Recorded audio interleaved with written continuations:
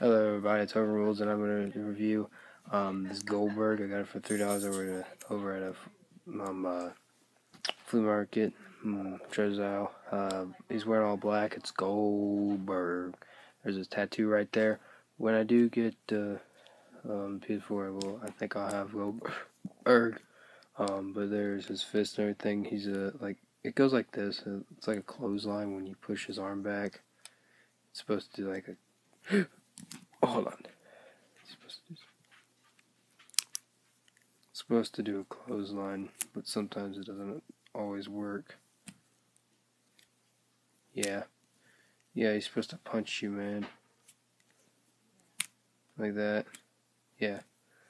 And he does go twisty. He's kind of crooked. It does not have his single jointed, and yeah, that move arm just moves right there. This arm moves up and down. His head moves only side to side, but it's real hard to do.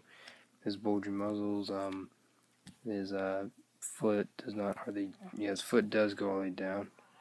And yeah, I give this figure a 9 out of 10 because I don't really like this detail about it with his arm, but it's a pretty good for a good Jakks figure. And this video, leave a comment, subscribe for more Hogan Rules out. Bye guys. Bye, burn, bye.